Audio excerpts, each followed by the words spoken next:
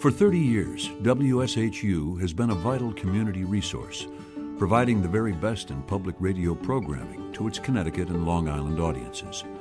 With over a quarter million weekly listeners, it's one of the region's largest and most influential nonprofit organizations.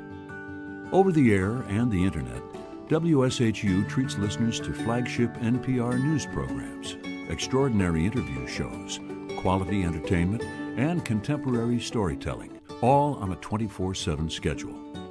It keeps the tradition of classical music alive and relevant for old and new audiences alike, with music programming throughout the week, Sunday Baroque, and its music outreach educational program. The station stimulates community discourse and engagement through special events, such as the popular Join the Conversation author series and media partnerships that promote valued cultural organizations.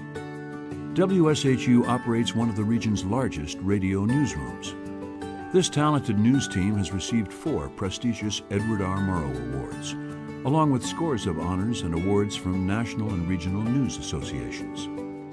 While its role as a vital community resource grows in importance, WSHU's physical plant continues to decline. Its 60 year old wood frame studios, housing millions of dollars of high tech equipment, are beyond repair Plans for a new 13,500 square foot broadcast center on the campus of Sacred Heart University have been developed. Large broadcast studios, proper editing suites, and modern digital equipment will be features of this state of the art facility. And a 200 seat performance space will mark WSHU as a community destination for concerts and lecture events. WSHU's Breaking New Ground campaign has the goal of raising $9.4 million to advance public radio in our region.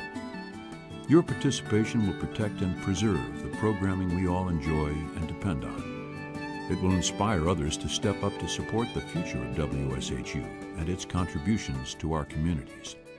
Choose to name an area in the new broadcast center, and your family's loyalty will be recognized both on site and on the air. WSHU is honored to have served this community for 30 years, and with your help, we look forward to an even brighter future. Let's break new ground together.